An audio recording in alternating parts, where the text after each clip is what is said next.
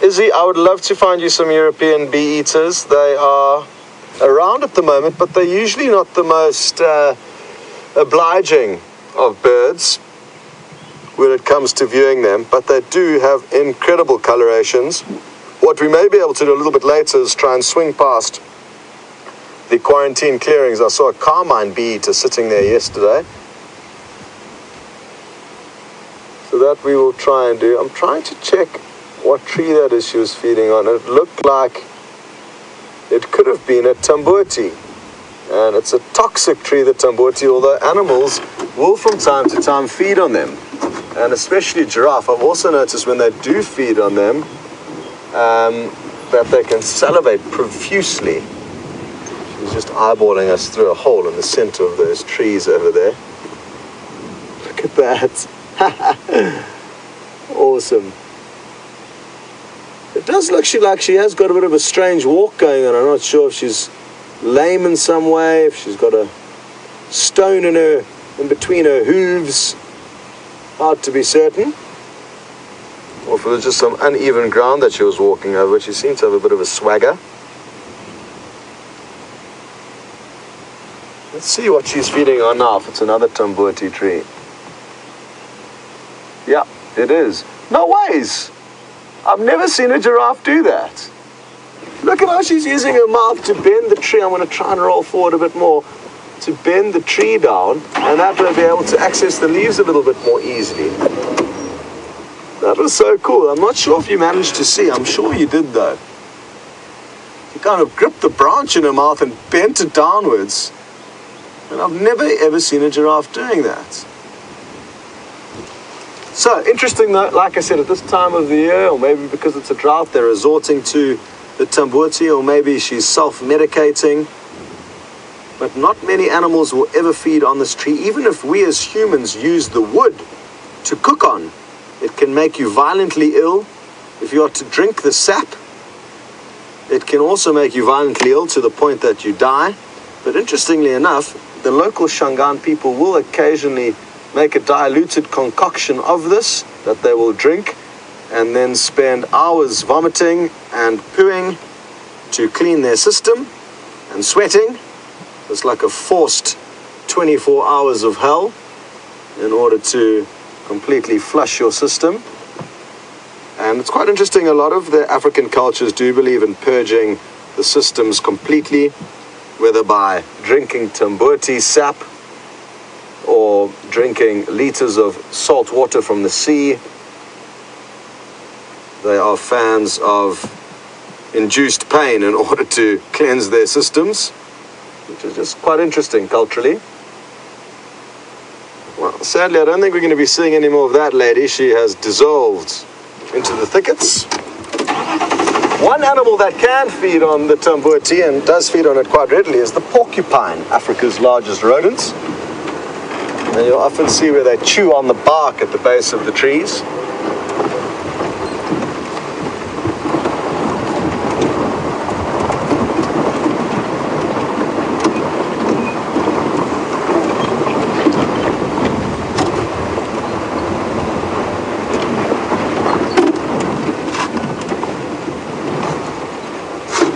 Oh, shame. Old Joey, aka the Monkey Man, made a monkey like move and deleted his whole bird list. He was on 89, and apologies, Monkey Man, that's terrible news. Um, and well, at least you got goaded kingfisher. I mean, that's a good one. The other, the other 89 we can get easily, but that one there is tricky. We'll get back up uh, up to scratch. I'm sure you can remember a lot of them, though. I'm guessing that you can just you know scribble down without cheating yourself. That is also accepted within the ornitholo- ornithological world. Um, but apologies to hear that. Maybe a hard copy together with a soft copy is the way forward.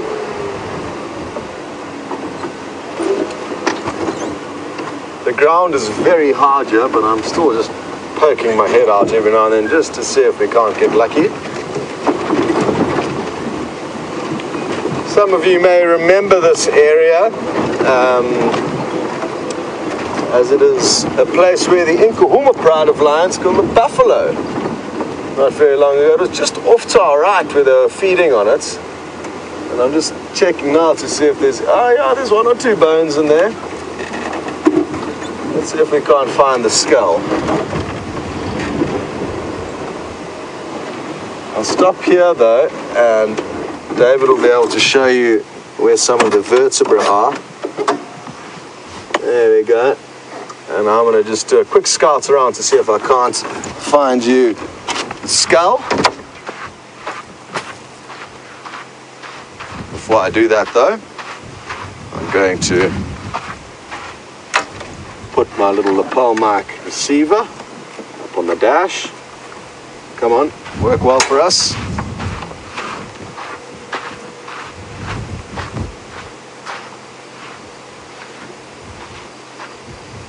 Just making sure there's nothing that wants to squash me in the nearby vicinity. Everything appears okay for now. It always fascinates me how such large portions of a carcass can simply disappear from the kill sites. I mean, the skull and horns of a buffalo are heavy. Oh, looks like the hyenas have been hard at work here. I'm to bring you a jawbone that I've just picked up. Well, what remains of it. No sign of the skull. I'm guessing that this will be from the bottom jaw. That's typically the skull or the part of the skull that does get consumed, but the upper portion of the skull is harder to chew through.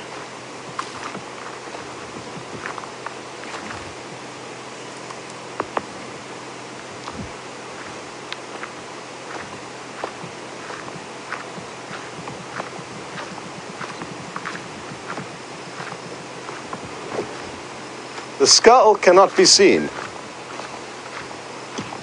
Go away, bird. Calling behind us, probably shouting at me, actually. So here's a portion of, I'm guessing, the lower jawbone that's been broken and chewed in all likelihood by hyena, the bone crushers of the African wilderness. So that's quite useful. If anybody needs a false tooth, let me know and I'll pluck one out of here for you. Eh? Might be a bit big, but you can get it whittled down to size by your dentist. Wouldn't that be a, a little war story there? Okay, I'm going to get rid of this now and show you something else.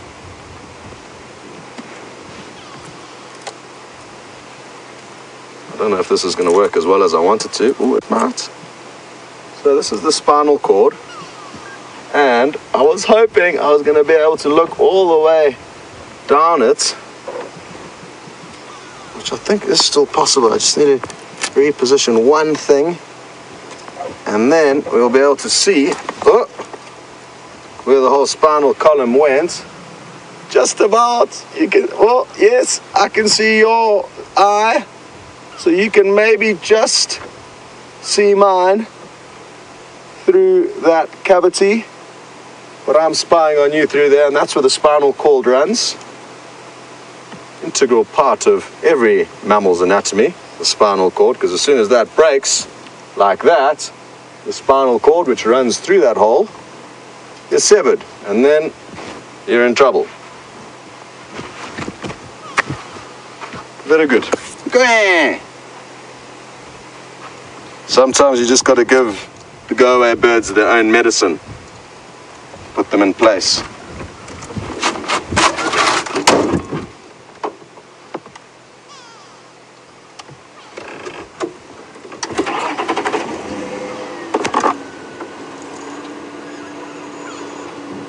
Okay, we're going to continue through the Marakeni riverbed. Hopefully we're going to maybe find the Anderson male leopard, a monster of a male leopard who we haven't seen for quite some time. He lurks through these areas. And while we do that, you guys are going back to the bushwalk with Jamie.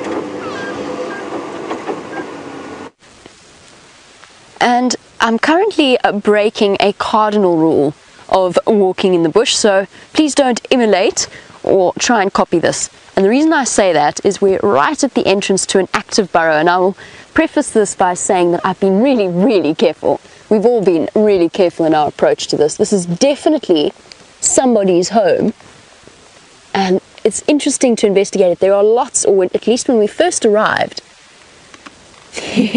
I'm just thinking about warthogs coming shooting out of here. VM and myself will go flying into the drainage line that's behind us very quickly. Probably not as quickly as the warthog that could come running out of here.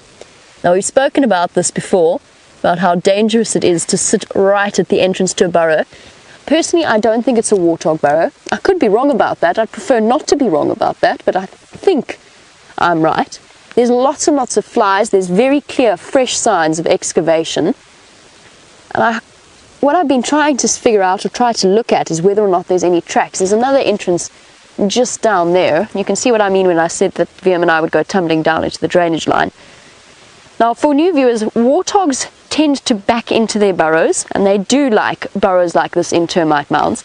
So a warthog will back, in, back up into a tunnel, and when I say that they can, they can probably explode out of there at roughly sort of the speed and with about the same amount of sound as one of the Apollo missions in terms of their takeoff, they shoot out so fast, and you just get dust and noise. And I'm, I know I'm not the only guide who's ever had a heart, close on a heart attack thanks to warthogs suddenly coming out of burrows. And it's very dangerous. They've got very, very sharp tushes, those lower tusks, not the big, nice, curly ones, but the lower tushes that are sharpened by constant rubbing against the top ones. They can be incredibly dangerous. That being said, um, and having discussed that and having come to the conclusion, and VM being incredibly trusting of that assessment in standing where we are, I think it's not a warthog gives us a couple of options. It could be an aardvark, but they aren't the usual fly species. There's a very pale species of fly that tend to hang around only outside aardvark burrows. I haven't seen any of those. And I haven't seen any tail drag marks. What quite often happens when you look at an entrance to an aardvark burrow, often they rest along the side and you get just a little, a drag, pretty much like a drag mark that sits and often moves then down into the, into the burrow itself. It sort of looks like this. I don't think we're looking at an aardvark burrow. My suspicion would be porcupine. I think that is the consensus as to what this might be. It'd be interesting to get hold of Brent's camera trap and try and confirm that that is actually the case. Quite. Oh, hold on. I've just said that about the fly species, and I've just spotted one. I think it could be an aardvark. I've just changed. I've changed my mind completely. Sorry. 180 degrees.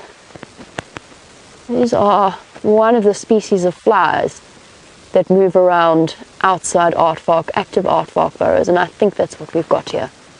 So maybe this particular aardvark just didn't want to drag his tail. Interesting. I was going to say porcupine, I was going to say freshly excavated porcupine. I've just changed my mind. I think that it could be a freshly excavated aardvark. Interesting. We, we may actually never know unless we put a camera trap up. But this is very, very fresh, and you can actually see the power of this animal that's dug and excavated under this termite mound, flicking the mounds of sand up like this, and excavating an enormous amount of soil that's come out of here onto this mound, and then down from this entrance and into the drainage line itself. Okay, I've changed my mind. Ooh, there is a chance that you might see the, the ground suddenly spinning towards you at a very rapid rate. Your YouTube button's ready. yes, have your have your YouTube buttons ready. As we go, both VM and myself at risk of tumbling down into the drainage line. It's um very loose soiled, and now that now the soil's all in my shoe. stuck there. It's the one disadvantage of this particular style of shoe is it tends to collect dirt but doesn't really let it let it go. Maybe, maybe we are looking at an art aardvark burrow. You can see the, the power with which this thrust into the drainage line. Oh, being very brave. Yeah, I'll pop the torch in.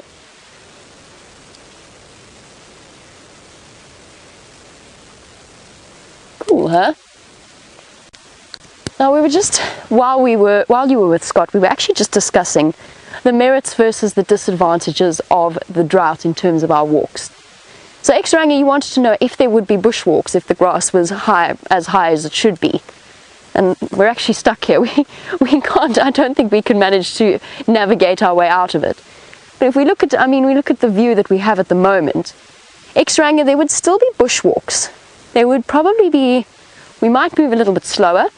We definitely would have a wider variety of insect life to show you. At the moment, the insect yield of this particular year has been negligible compared to what it should be. So we'd have lots of exciting insects, lots of interesting things like that to show you.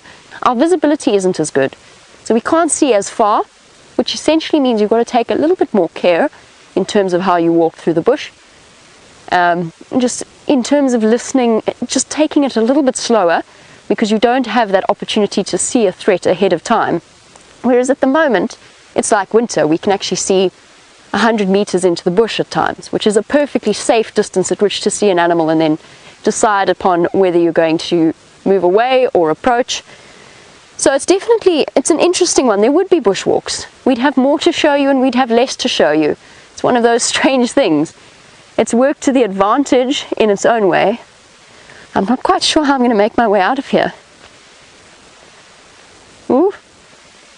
Oh well, we'll have a look at the entrance for now since Jen B has asked a question about porcupines, which is essentially how do they go in and how do they go out? How do they reverse in and out?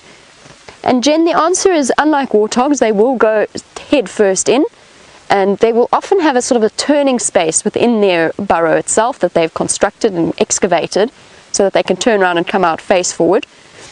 It's amazing the way that they get around the complications of the quills because I can sort of I can see what you're thinking about. If you've got quills that have gone in and then you start to back out, they're going to at some point get stuck. But of course, the quill's lying flat, they can reverse out.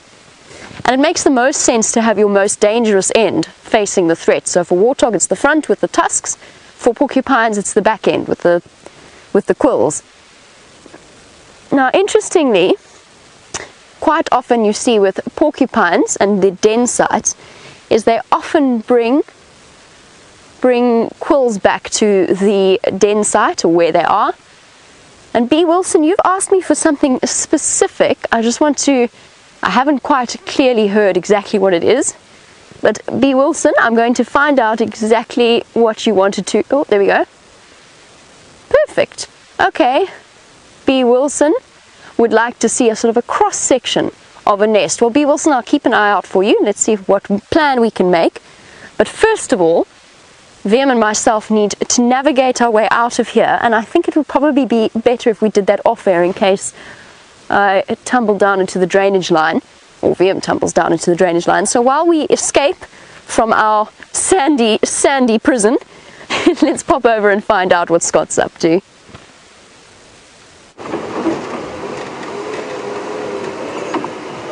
Well, interesting stuff over there with Jamie and her burrows. Wouldn't it be nice to know if there was in fact an aardvark in there just a few meters away from you guys? We are now in the domain of the Anderson male leopard. He likes to lurk around this large riverbed system that flows off to the right hand side of where we are here. He could pop up his head at any stage. Over the radio network, though, I haven't heard any major updates on Arathusa. There doesn't seem to be too much that has been located yet, but that doesn't mean that there are not animals nearby. So, I'm remaining optimistic. It's been a long time since we've seen the Anderson male.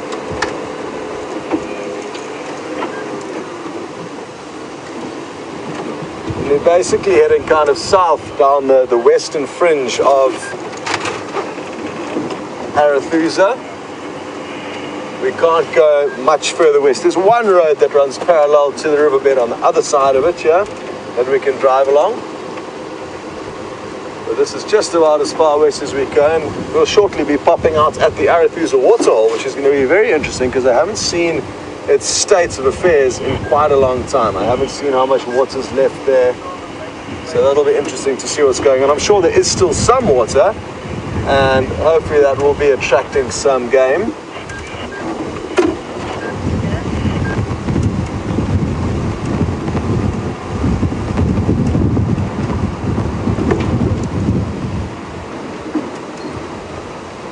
Hello to Derek in New York. Uh, you interested to know if there are any updates on another leopard we could bump into here? Shadow, a female. And not that I've heard of, although I forgot to mention, I did find some tracks that I am quite sure might be hers. They were right in the north uh, western corner of Djuma. It's like the Bermuda Triangle there, so I didn't try and follow up. Um, they were kind of heading towards Sydney's Dam, which is where we had come from after we left, well, where we saw those giraffe, uh, giraffe zebra drinking. Um, so I thought they were her tracks, judging by the area that they were in. But uh, Derek, you'd like to know a little bit more about her and whether or not there's been any more confirmed uh, updates on whether she has cubs or not, and no. No confirmed sightings and or updates on that. So again, even though there was speculation that she did have cubs, and I think guys did see her with suckle marks, she too, like her mother, again speculation, may well have lost her cubs. Again, no surprises. And in my career, I have seen many, many, many leopards, more so, it far outweighs uh, leopards losing cubs far outweighs them raising them. Far, far, far. So I think the two of them may have been unlucky, but let's hope that that's not the case. It's just that their behavior has appeared to indicate that they don't have cubs. And the reason why is that if a leopard does have a den, she goes backwards and forwards, and if you've got half decent trackers around, they're going to notice these tracks beelining up and down on the same kind of pathways to the same area. Um, whereas we haven't had that. Again, it could be through default, they could be moving the den sites often, um, or it could be the more likely fact that the cubs are no longer.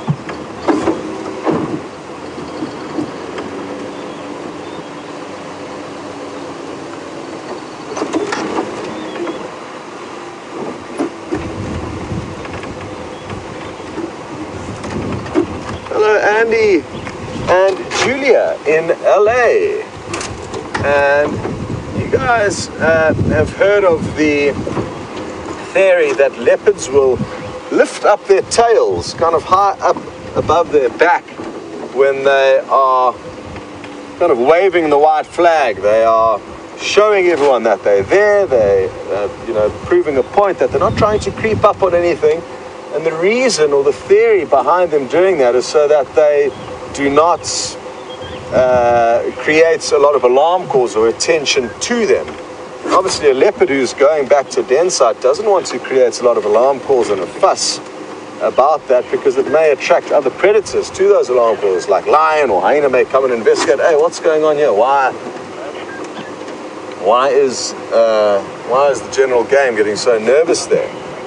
So I have seen that happening. I'm not too convinced about the whole theory. That doesn't make entire sense. I mean, everything knows that a leopard is potentially dangerous. So, even though, yes, I have seen them holding up their tails once they have been spotted to kind of acknowledge it, I'm not sure if that's a frustration thing or exactly how it works. I'm basically not convinced by that theory. It doesn't really add up to me because whether you're a leopard with your tail up or your tail down, animals are going to panic, you know? So, and I have noticed the same, basically the same amounts of panic and alarm calls when they do hold their tails up.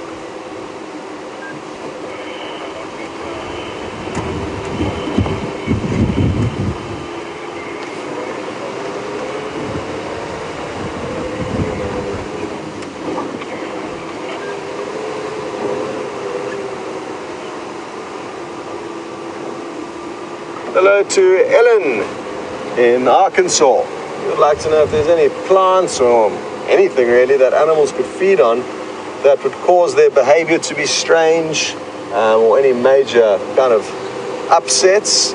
And not that I've ever seen. Um, it is possible though, like I said earlier with the giraffe, I mean, one thing I've noticed with the giraffe that was feeding on Tambuti was that it had an incredibly long trail of saliva trailing out of its mouth. It was probably like half a meter long. Obviously, with the giraffe having such a long neck, there's no risk of the saliva touching the ground or anything really. Um, so there's long trails of saliva coming out of the mouth, but the behavior wasn't any different. So It was just that it was salivating. Um, what am I not thinking about? What may induce some kind of interesting behavior when animals feed on a certain substance? Hmm. I'm coming up with a blank, Ellen, but that's not to say that there aren't a few plants that do have some interesting effects on the animals out here.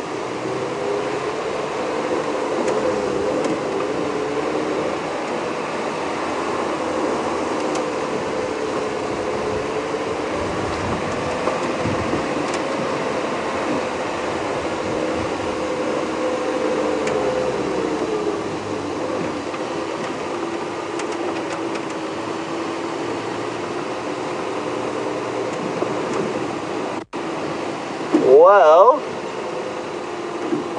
we've got an update for one particular viewer, Easy, who was wanting to see a European bee eater earlier. And there's apparently one on the Djuma Waterhole camp. And obviously, we don't like to send you away from our live safaris, but if you're sending you away to the live Waterhole camp for a few seconds to see one of your favorite birds, of course, that's not a bad thing. So, if you'd like to see that pretty bird, sneak across, but please come back and join us on safari. Oh, it's flown away, so don't bother.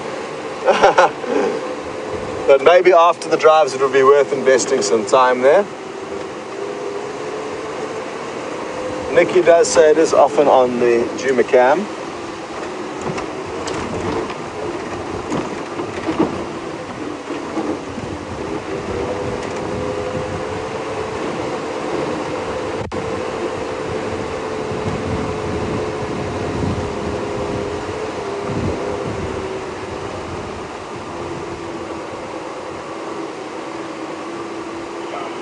Oh, well, this is very interesting information from Jeffrey in Texas. Thank you so much, Jeff, for sending this through. And I was discussing how the local African people quite enjoy purging their systems by feeding on various toxic plants, usually.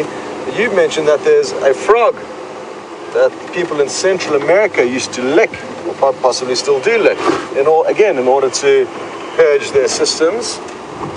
So Thank you very much for that little nugget of information. There's a frog here called the banded rubber frog, very pretty frog, black with either red, red or yellow markings on its back, and that too is also highly toxic. You don't even want to handle that.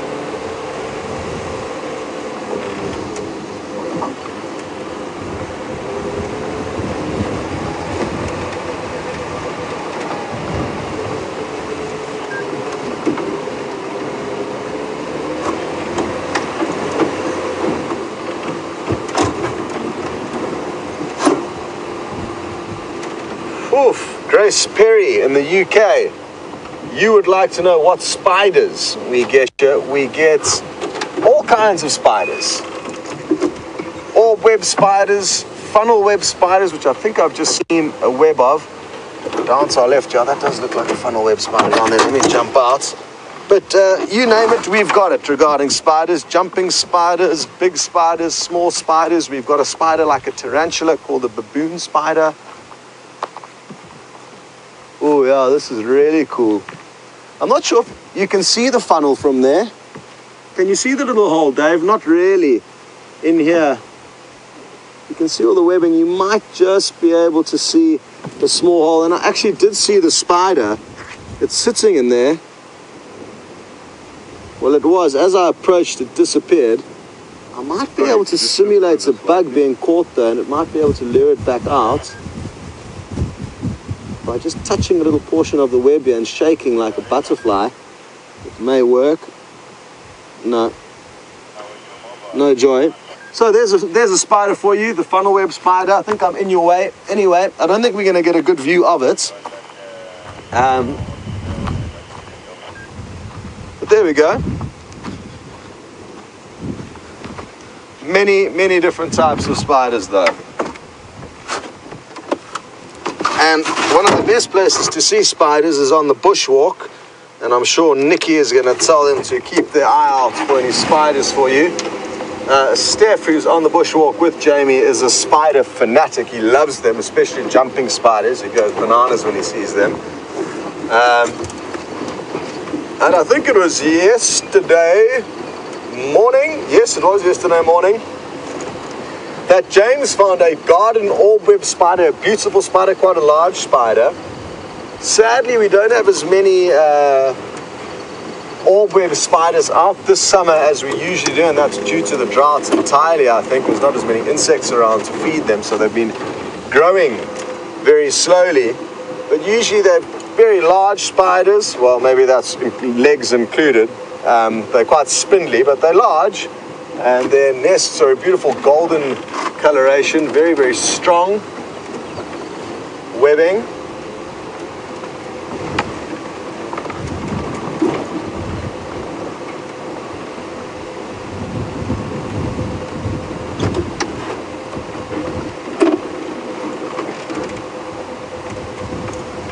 Well, Anna Marie, um, thank you for your wishful thinking with the hope that we're going to find the Anderson male. This is the place where it can happen. The first time I saw him was just a little bit further behind where we are now, but he often lurks through this very, very area.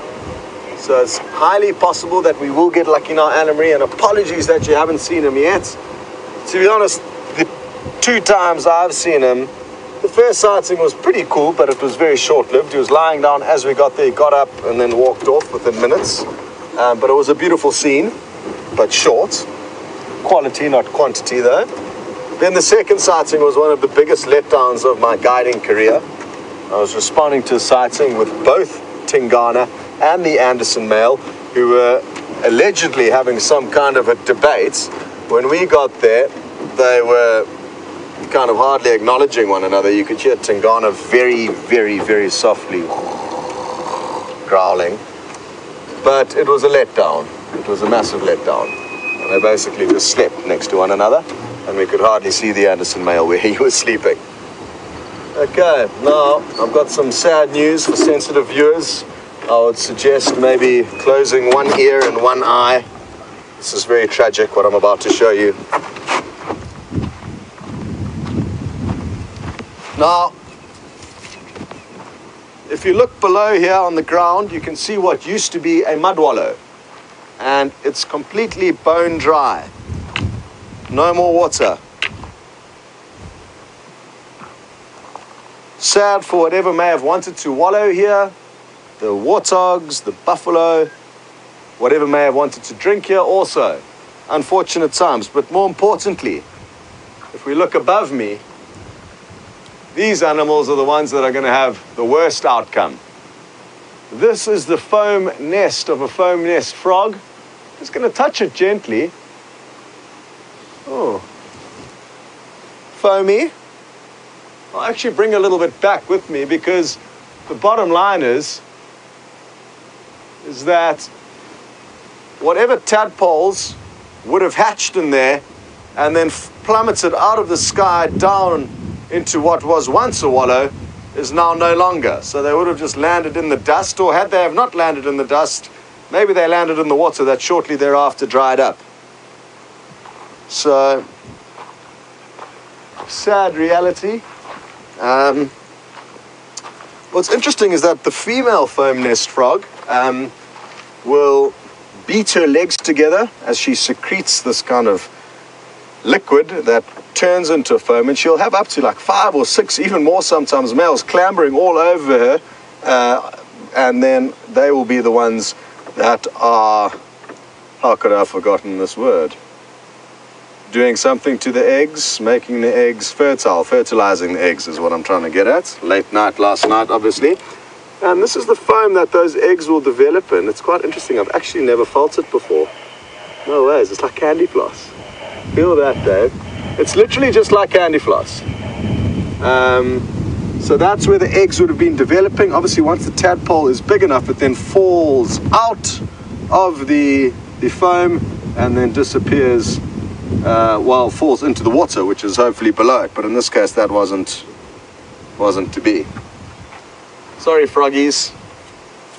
Drought's not doing you any, any good, eh?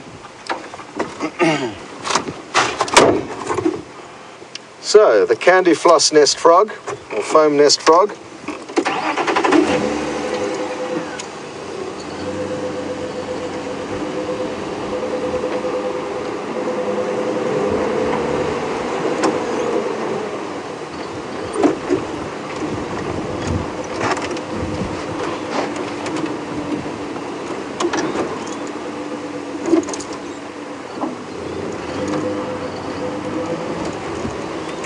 Julian in Connecticut, good day and good to have you with us.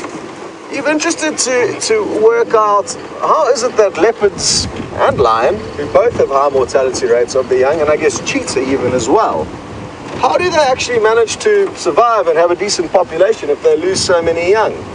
Um, it's a good point, but I guess it just emphasizes that it's survival of the fittest, you know, and unless it's really meant to be, predators will not make it. And that does make sense because if we had predators around every corner, there would not be enough food to sustain them. It just simply wouldn't be sustainable. And there also wouldn't be enough space for them. There wouldn't be enough territory for them. I mean, if we think of all of the leopard cubs that get lost, if those weren't to get lost, I mean, there'd just be a leopard in every tree we drove around here. Considering how long they can live for, considering how much they need to eat, you know, it makes it makes sense that all of the, the young don't survive in terms of populations and, and, and the sustainability of things. Um, and again, like I said, it also just ensures that only the strongest genes are getting through. Often it's male leopard are the number one killers of leopard cubs.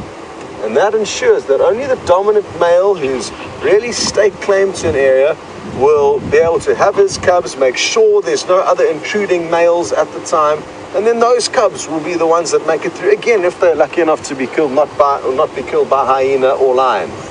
Um, but if you look at the Sabi Sands, I mean, we've got a very, very healthy leopard population here, a great leopard population, and there's obviously everyone would like a few more leopards on their property, but in reality, there's plenty of leopards around, and all of these leopards, all of these females, or many females, lose lots of cubs. So it's just the kind of way it is, I guess. It's the way of the wild.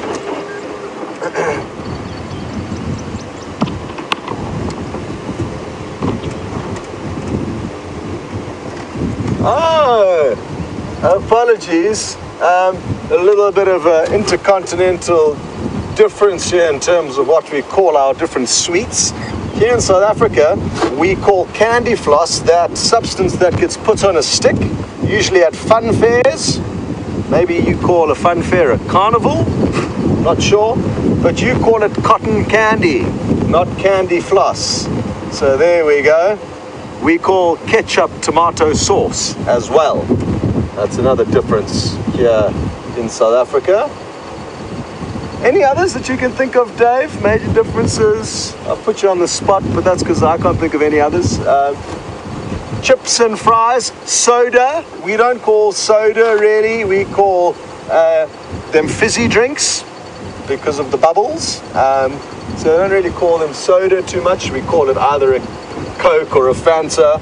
We don't call it a soda so much.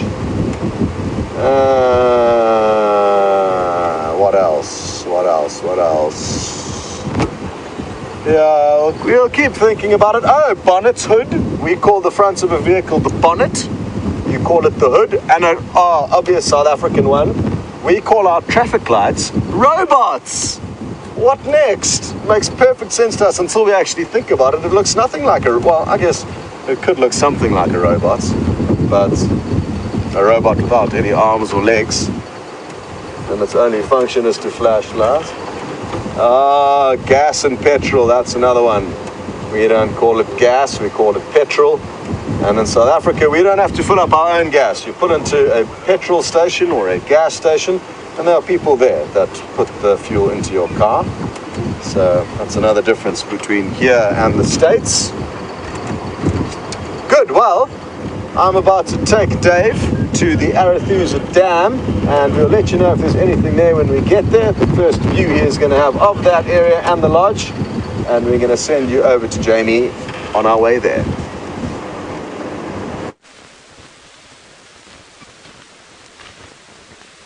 So I think in the cotton candy floss, cotton, what's it called again? Now I've completely lost what we call it. Candy floss. Candy floss versus cotton candy. I think that, yeah, I think that VM's got it absolutely right. The best name is the Afrikaans name for it. Spook awesome. Ghost's breath. I think that's a perfect example of good naming, appropriate naming, although apparently ghosts have very, very sweet breath. But you can see it, you can see the crystallization, the idea behind it, much more of a descriptive name. You'll notice I'm keeping an eye out sort of towards my right. The reason I'm doing that is because I've noticed a lot of oxpeckers moving across. Now, oxpeckers, for those of you who don't know, are really, really important sign and sound of the bush because they sit on animals like buffalo. They also sit, of course, on giraffe and on kudu. In, the particular, in this particular case, it was a big male kudu that they were attracted to. Oh, there's his track actually. Or there's a young, there's a smaller kudu's track. This can't be the large male that I was looking at. And look here, just talking about the stuff that you can learn from tracks. Here's his track here, moving in this towards me in this direction. Look how it's flicked I wonder whether or not that kudu was running. Quite usually quite indicative of an animal moving quickly, although sometimes they drag their feet just like we sometimes do when we get lazy. It's amazing the number of different, just to go on to a different sub, oh no, let me finish off with my oxpeckers. So oxpeckers are really an important sound to listen out for in the bush. They can give away the position of an animal really, really clearly, and that's important when you're walking through because 80% of the time you are going to hear something before you see it out here. Okay, this is a bit different in this particular season and the way that, or how dry it is and the amount of visibility that we have. But it's always very, very important to listen to the sounds of the bush and what it's telling you. Now we know, we've seen buffalo multiple times and the number of oxpeckers that sit on them. I have a nice idea. Since we're here, should we go pop into the old hyena den and investigate what's happening there? Now, I would investigate on foot, regardless of whether or not it would be active. Oh my word, I've got an entourage of flies. Now, the hyenas are very, very comfortable with people on foot. You don't, obviously, you don't constantly move about a den site on foot. They're much more comfortable with the vehicle. But finding it, finding an active den site on foot and exploring it is actually a really nice, it's probably the only way of finding an active den. This is the old Gallagher shortcut den. You can see already evidence of a time when hyenas inhabited this place. You can really actually nicely see the hollow where hyenas managed to break open this bone and get to the bone marrow inside. And that, of course, is what they are specifically adapted to be able to do. Crunching, that power of that jaw, it's the reason that their neck and their shoulders are structured like that.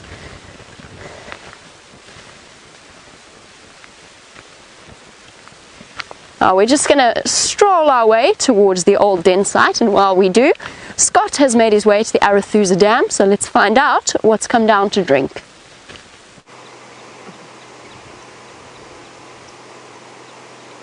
So we've just arrived at the Arathusa waterhole and there is a marabou stork, one of the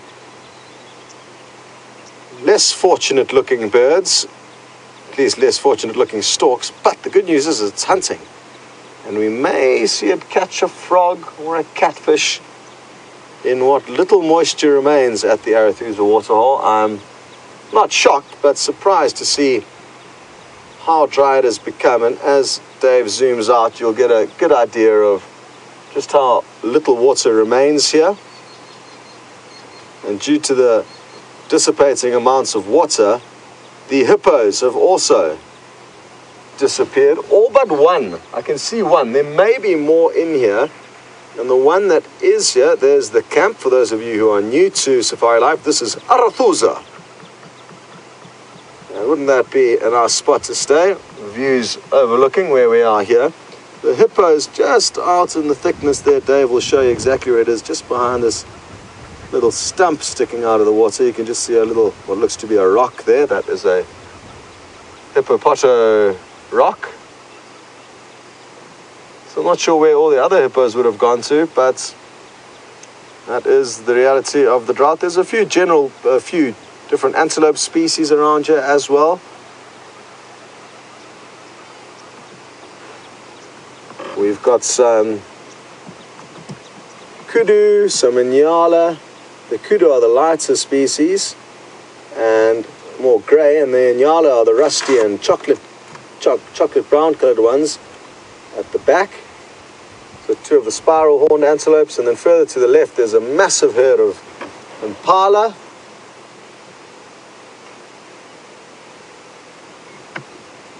And they all scattered about over there, and then even further left of them is a lone waterbuck bull who's enjoying just chilling out on the open clearing.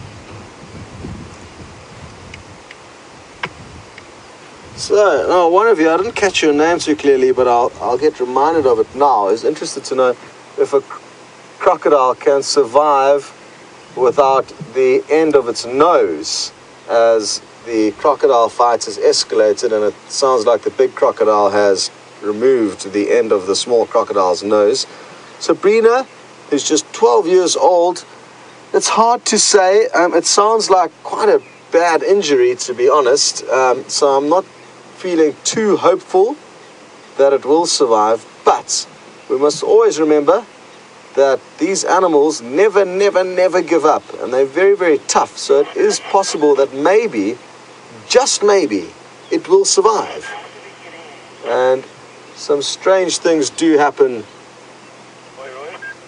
out here in nature. And against all odds, some animals may survive. What are these kudu looking at? You don't mind zooming into them?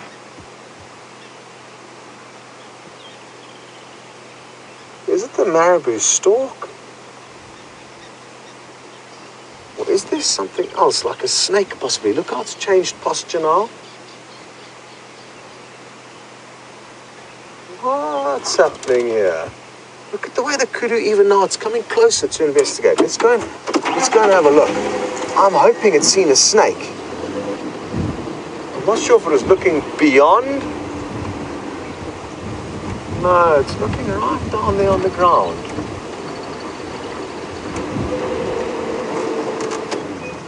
What have you seen?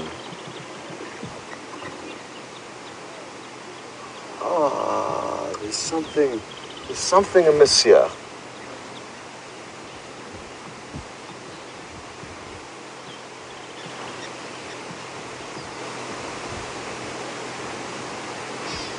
Just scanning with my binoculars. If I can't see anything more, I'm going to jump off and have a closer look on foot. Maybe they're just panicking though. Maybe the, maybe they're looking at a little rock here behind this dead tree that's making them feel like there's a predator. Obviously, as they get close to the water's edge, which they're heading towards, they will become more and more nervous. So I think it's that. I think it's there's also a bit of a breeze picking up now. I think the combination of the breeze and the fact that they're at the water's edge is what's causing them to be nervous. Now, the problem at this time of the year and during a drought, or even in the winter season, is that when antelope try and drink, they need to get through a thick layer of mud before they get to the water's edge and can sometimes become stuck. It is something that I can almost guarantee is going to happen at some point. And I'm not sure whether intervening is the right thing to do. Stealing an easy meal away from the predators. I'd be inclined not to intervene, although some people do intervene in these circumstances. Oh, look, the ones on the left there are kind of, I think, beginning to get into some softer mud.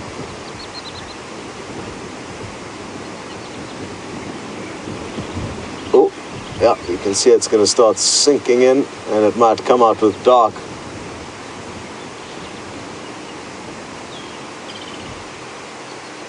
Dark socks.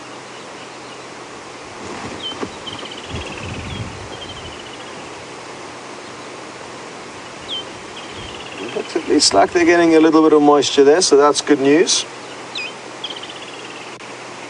And I don't think they're going to get stuck. They're not disappearing too deep into the mud either, so that's good. Yeah, they're definitely getting some water there, and it looks like they're not going to get stuck just yet.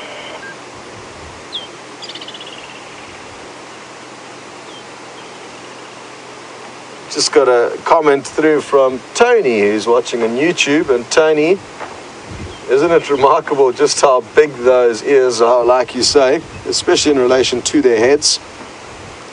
Like massive satellite receivers. And that's because kudu, being browsers, often live in thick vegetation. So evolutionary, it's, it's made sense to have good hearing. Not that they've got bad eyesight, because often hearing their prey is going to be more effective than possibly seeing their prey. But well spotted, it is certainly a characteristic of the kudu.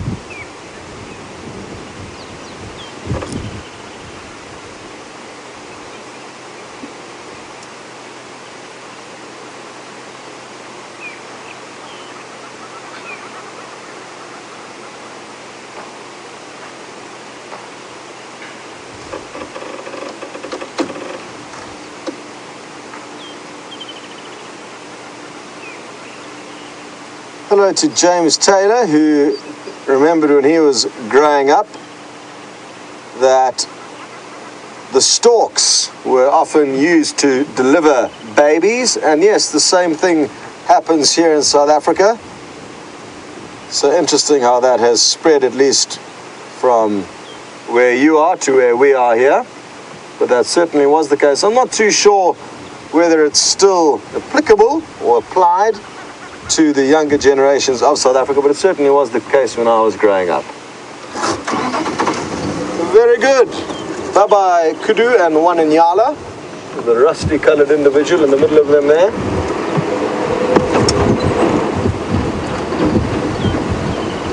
There's the old waterbuck chewing the cud on the left. Oh, there he goes. And yes, there are big antelope the waterbuck grease. Look at it go. And it's not the biggest antelope we get in South Africa. That is the um, eland, which we sadly do not see. Sorry? Hold on, I just heard a very interesting update. Going back, I'm uh, trying for if I pop a love, then that's that, but I'm gonna pop a back. Uh, Last station, could you go again with the update on that Skankan, please? Good morning, Scott. They, they are tortured now. I'm close to Nkoro.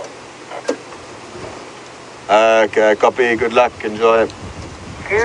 Sadly, we cannot go there, but there's a cheetah just east of Djuma, lying on a termite mound, which got me very excited. I thought the initial um, update that I got made it sound like it could have been on the southern boundary of Djuma.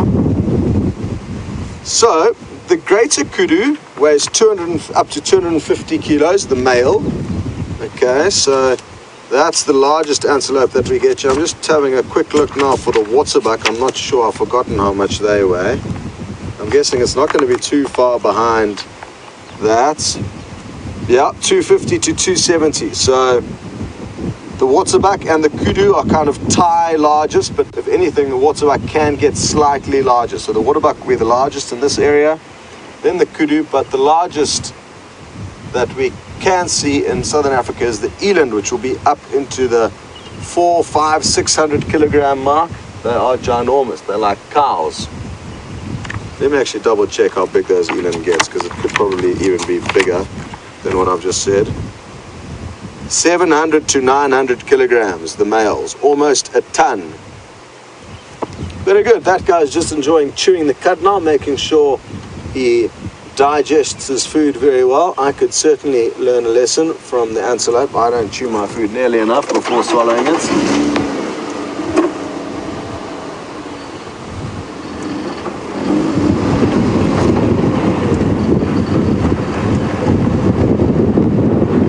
Okay, well, Jamie did say that she was going to be heading off to the old hyena den to look for any fossils and artifacts. So, why don't you guys go over and see what she's managed to find?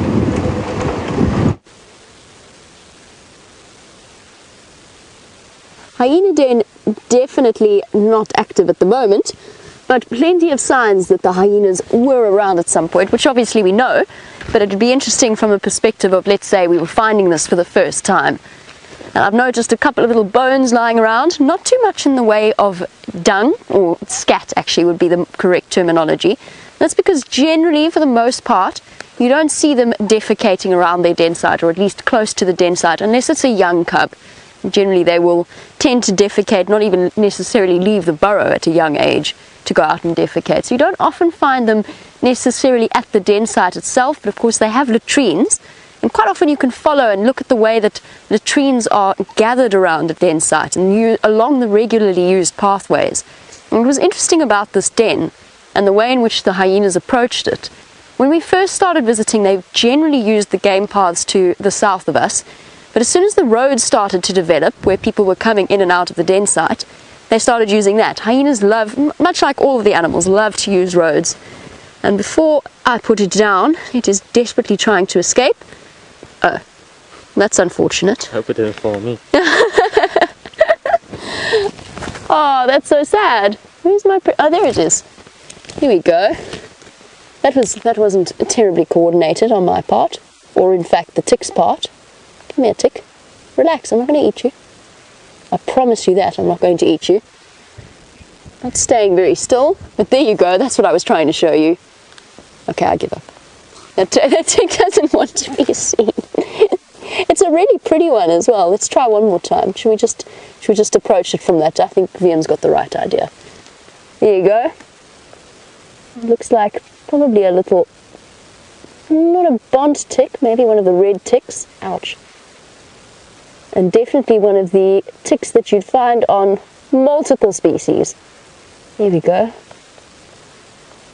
Stop for a moment and you can get an idea of the coloration and pattern. Not an insect that I would say is, I would ever thought I would call pretty. But in fact, this is quite an attractive tick as ticks go. Still don't want to find it attached to any body parts. You can really get an idea of those mouth parts and how strong and solid they have to be to get through the thick skins of the animals. So this little tick wandering around waiting for a host species to pass by that it can climb onto and jump onto and then engorge itself. And depending on what species of tick it is they have different stages of life cycle. And you know it really is drizzling on us. It's quite nice. Really nice cool morning. But yes depending on the type of tick will either either have a one phase two phase or three phase life cycle which is the number of times that it will attach itself to a host species and then drop off. And the, the, the number of times it um, goes through some kind of not metamorphosis, but what's the word I'm looking for in terms of its growth?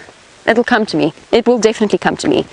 What we've been trying to do, since we are at the hyena den, is investigate the sort of interconnectedness of the tunnels. Because we very often, when we were here, we'd see the cubs, and they mainly used the entrance at the top of the den here, but they very often popped out either on that side or on the other side of the termite mound.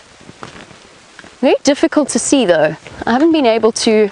A lot of the tunnels have collapsed almost completely without the excavations of the cubs. And I've been trying to VM shone his torch into one side, I went to the other side to try and see if I could see it. Doesn't seem to come through, but we know that they are connected because we've seen the cubs come through and into the, onto the other side. And since we're here, I also thought it might be quite nice. We could never really get the vehicle around to show you the one entrance. And towards the end of this, their time at this den, the most recent time, they actually moved to the other side. I'm going to show you how nice that partic- and protected that particular entrance is.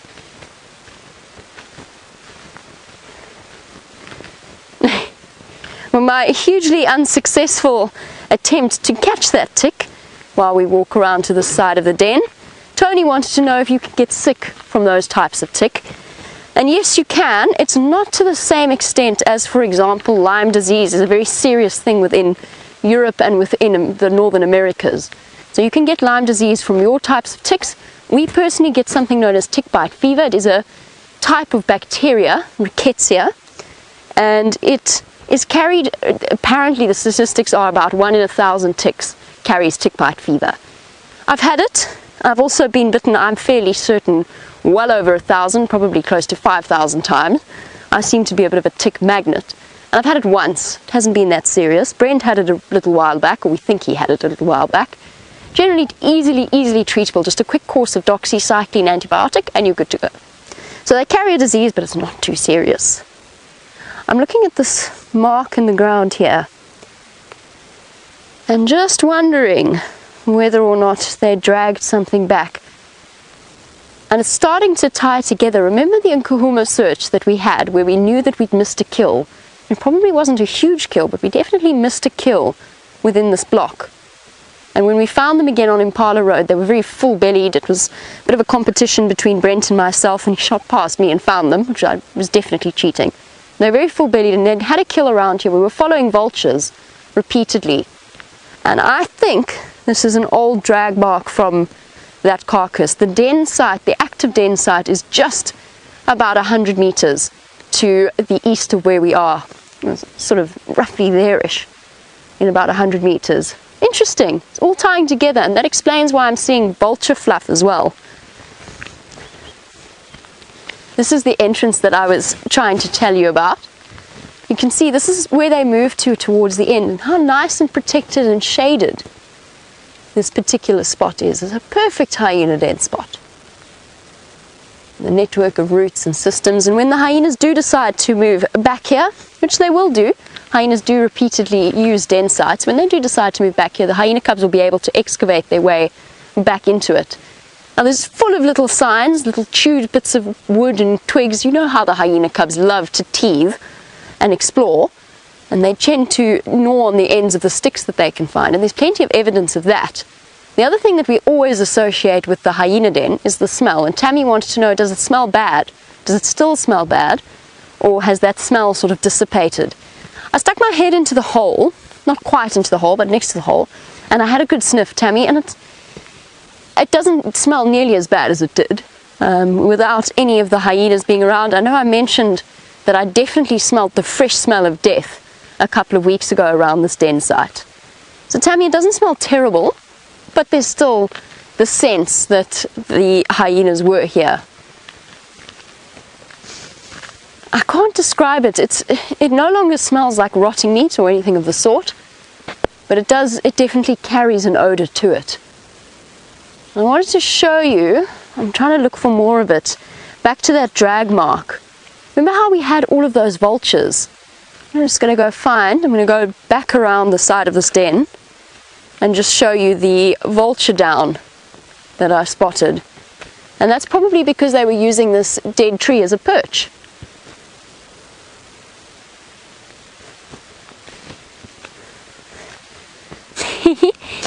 Angie's on the same page as we are, in a, in a way. Angie has said, wouldn't it be cool, wouldn't it be neat to send the rover down the hyena den tunnel?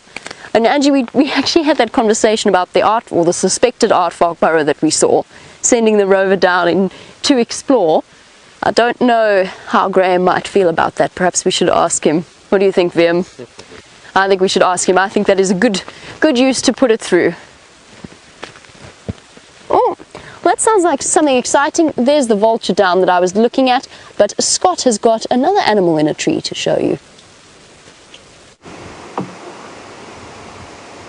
Well, take a look at this. A rock monitor lizard. I'm just using the flashlight to try and illuminate it. Um, difficult to see though, and it looks like almost nothing's there. But that's testament to how well camouflaged they are there. I'm shining the spotlights a bit better now.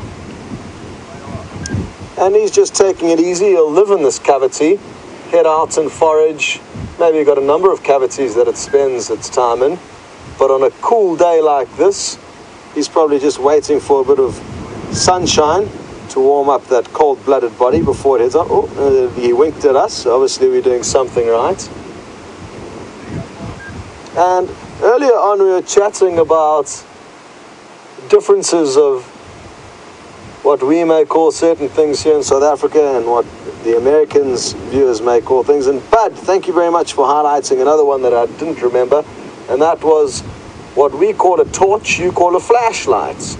And quite applicable now as I am using a flashlight to try and illuminate this rock monitor lizard.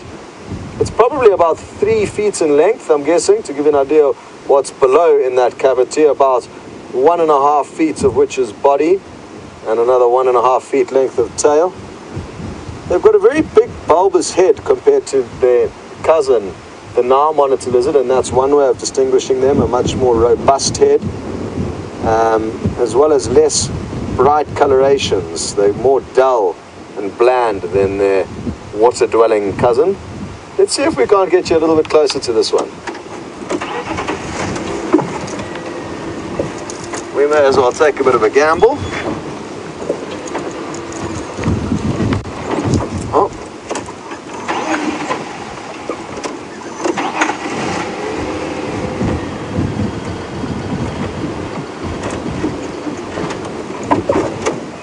At its beady little eye. I'm hoping it decides to stick out its forked tongue to smell the air to test our scent because that'll be great to see. Come on, put out that forked tongue of yours. It's got quite a fascinating little eyeball there. And aren't we lucky that it is a cool day? There's even a few small drops of rain falling on us, nothing too serious, but a few tiny little drops of drizzle. I'm not sure what it's like across on Djuma, but this weather could be on the way there. It usually goes from west to east. Oh, I missed the tongue. I was looking away. But you guys got to see it, so well done, unless, of course, some of you were blinking like I was at the time. Very good.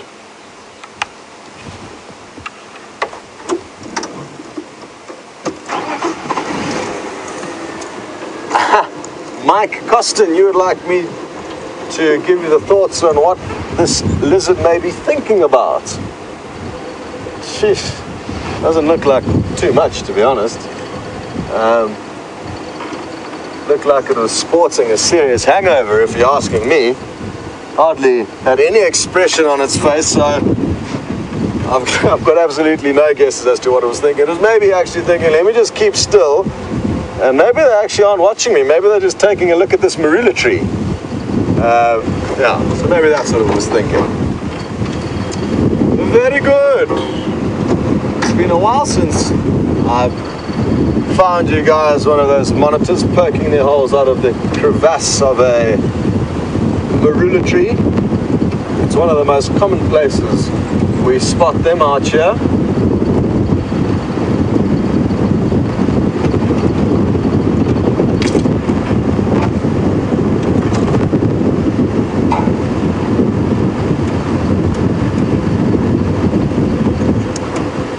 Hi there, Eric in Virginia Beach. You are wondering what animals will we see in this area seasonally, and uh, you know, in winter they'll be here, and summer they won't, and vice versa. And it's only the birds really that are migratory. Um, the rest of the animals we see here throughout the year, although you know some of the reptiles. Uh, the snails also, you know, we only see them in, in the summer months. So even though they're here, they're just in estivation. They are hiding out during the winter, waiting for the summer bounty, which has not arrived this year. But yeah, it's mainly birds that migrate here or animals that estivate here come out in the summer months and lie dormant in the winter, which is dry. We don't have any major migrations of, of mammals coming and going from this area. There's slight seasonal changes, but each season may differ to the next.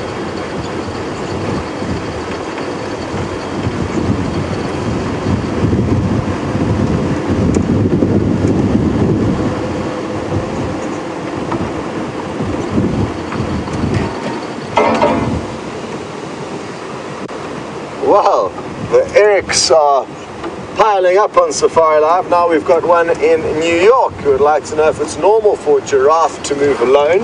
Um, for the males, fairly common for them to move alone. Yes, uh, for the females, less common. You're more likely to see females in, in small herds, although in some parts of Africa you can get herds of 20, 30, 40 giraffe moving together. So a lot depends on where in Africa you are. The same species will often act differently in different parts of Africa. Um, but the bulls, yes, not uncommon for them to be alone. The female that we saw earlier, even though she appeared to be alone, maybe there were a few more giraffe just ahead of her that we couldn't see in the thick bush.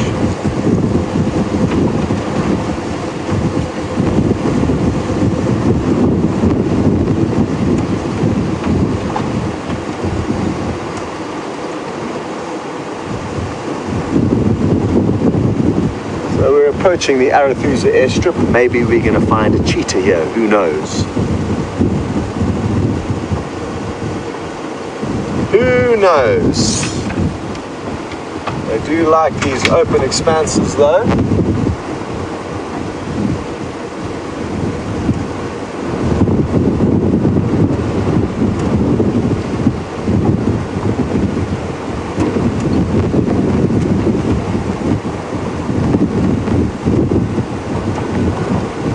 Hello, Heidi in Arizona. I'm not sure if you were tuned in earlier. You obviously weren't because then you would have seen my description and chat. Oh, sorry about the Grevy zebra. I did show it in the book, so I don't know how possibly you couldn't have seen it unless you were not watching. But we do not get them here. We only get them in East Africa. The only zebra we get here is the Burchell zebra. Now, feast your eyes on this. This is what you call a bush breakfast that is busy being set up for the lucky Arathusa guests. Can you believe it? White tablecloths, you can see all the juices on the table there, the waiters getting all the stuff ready, the chef's on the right of the operation there. I think he's just disappeared behind the car. He's running around frantically. That's Dave, the head chef at Arathusa. He's a very talented chef. I think he may be starting up a fire. Dave! He's so busy he doesn't even know we're here. He started the fire. Dave! Oh no, he's not going to hear us now because he started the car. There's the roaring fire and awesome stuff.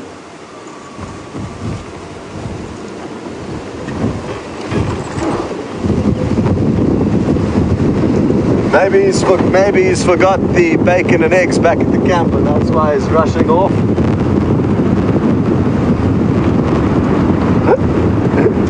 yeah, he's definitely forgot something important. anyway, it's not uncommon to have these wonderful bush breakfasts uh, when you come out to uh, come out on safari. It's quite a lavish experience. There's nothing rough about being out on safari, especially in the Sabi Sands. It obviously depends on where you go and how rough you like it, but the Sabi Sands, oh, I need to get out of Dave's way. Sorry, Dave, what did you forget? you forgot the glasses. and off he goes. ah, that's awesome. Um, so not uncommon, like I said, to be spoiled, having a bush breakfast out in the bush sometimes. What will even happen is you'll be driving around after dark with the spotlights, and next thing you come around the corner and you arrive at the most beautiful outdoor restaurants imaginable, lanterns everywhere, up in the trees, chefs in their white suits, having a dinner under the stars. So very, very special moments are made out here by the camps and the staff that work out here. They really go out of their way. Again, it, you know, I'm talking in general, so don't quote me if you go to a lodge and this doesn't happen. Um, but in general, they really do go out of their way to make sure that everyone that comes from far and wide does get absolutely spoiled rotten.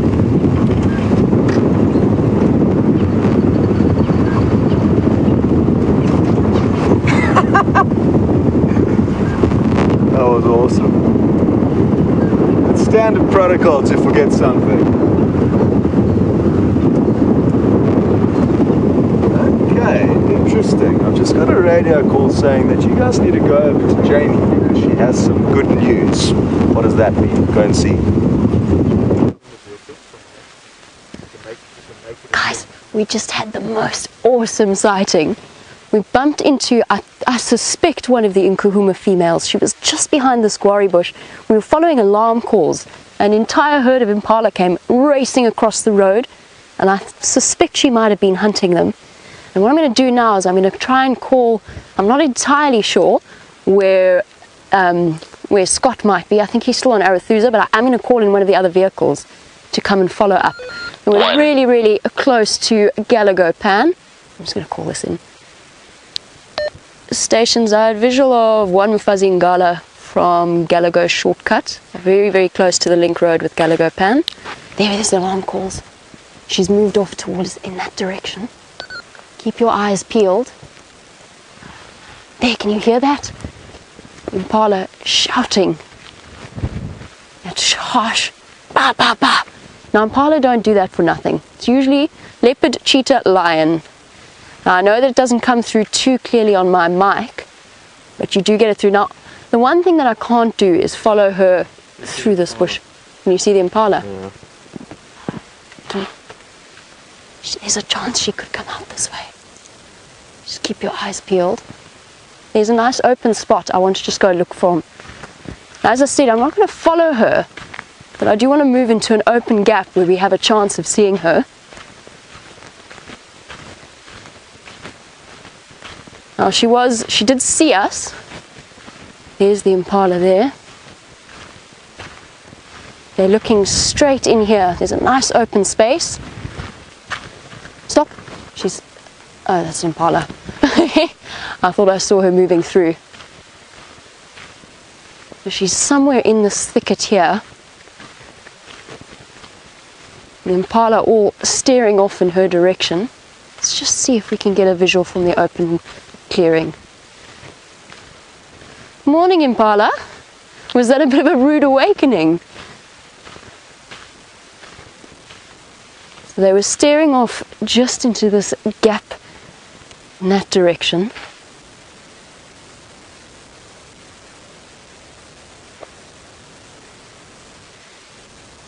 The impala are going to move off away from where she was. She was just moving through in here, and I think she's still moving in that direction.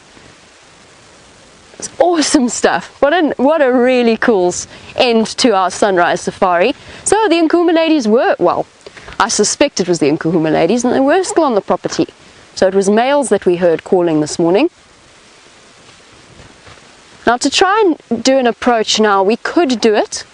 We're gonna get be met with two responses. We've already seen her once, she got a bit of a fright and she moved off straight away. So if we follow her through here, she's gonna do one of two things. She's either gonna get really cross with us and give us a bit of a growl, or she's gonna keep running.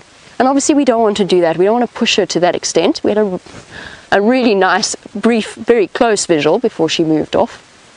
I'm not going to follow her through this bush. Unfortunately, as appealing as the idea is, all I'm going to do is scare her.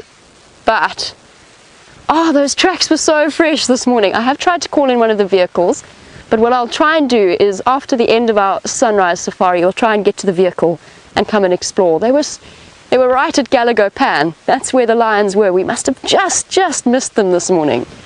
With those fresh tracks going down to the water, I assumed that they'd turned around and walked back to where Scott was. But obviously not. Hmm. One of those things. We need to go and get the vehicle, I think.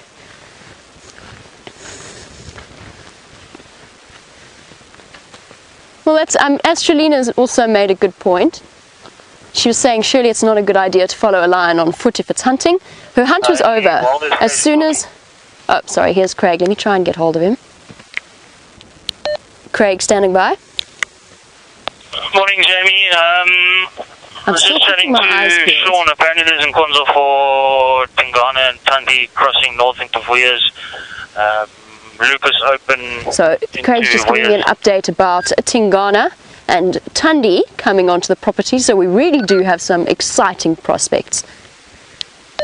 Copy that. Thanks, Craig. Um, I'm not sure your position, but I've just had visual of one Mufazi Ngala on Galago shortcut, close to the shortcut junction to Galago Pan. Um, she's gone mobile now into the block, and I'm on foot, so I can't I can't follow up. Okay, copy. Um, uh, So Astralina, you were saying surely it's not a good idea to follow a hunting line. As I said, the hunt was over. Those immediate impala alarm calls and the fact that they were racing across the road, it means the hunt for her was not going to happen. As soon as an impala spots something like a lion, as we've spoken before, they're very much ambush predators.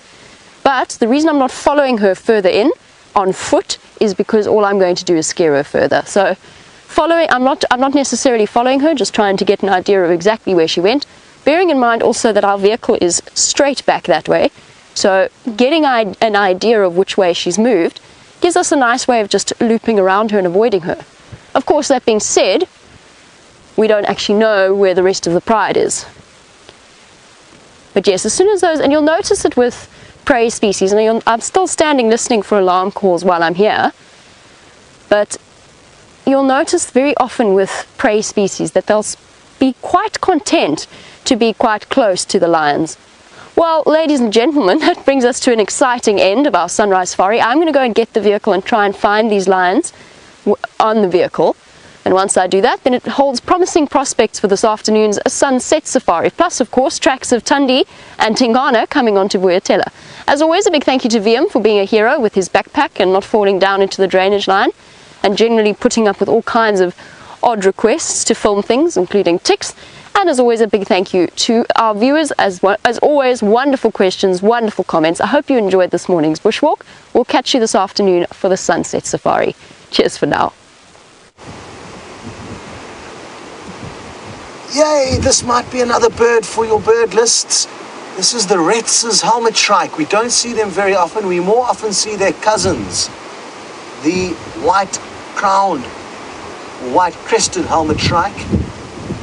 There we go. We got that in the bag though. Oh, it looks like Dave may have spotted it again somewhere in there. It's so thick and windy, it's hard to tell what's going on in this marula tree. But you would have seen the bright red beak and the bright red eye around its eye. So I'm glad we could get you possibly another bird for your bird lists. What a morning it's been, and well done to Jamie and the walking team for bumping into a lion. Awesome stuff. And hopefully they'll be able to work out exactly where it is and whether the whole Nkuhuma pride is there. I'm guessing that they could have split up. Anyway, it's been great fun. Thank you for joining us. Oh, what have I heard you? I think it's just leaves rattling. So I was just making sure that it wasn't the snakes or something slithering through the undergrowth, but I think it was just the leaves blowing in the wind. Thank you so much, everyone involved. Nikki, who directed the show, Kirsty, Jerry, and Leanne, who I think were all in the final control, possibly even Louise. Well done on your great camera work again, Dave. And thank you, of course, to all of you guys for joining us on the safari and sending through all of your questions, contributions, and action. I'm looking forward to the sunset safari already. We'll see you out there a little bit later.